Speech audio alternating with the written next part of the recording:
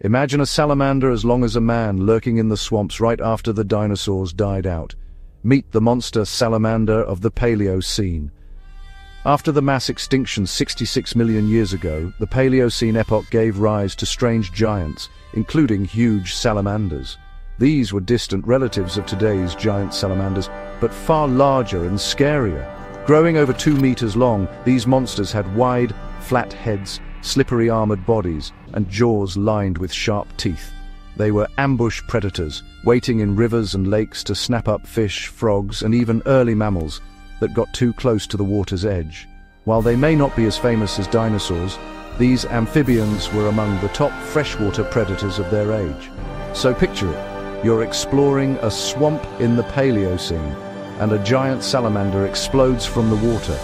Would you survive the jaws of this prehistoric beast? Drop a crocodile emoji in the comments if you think you'd make it out alive.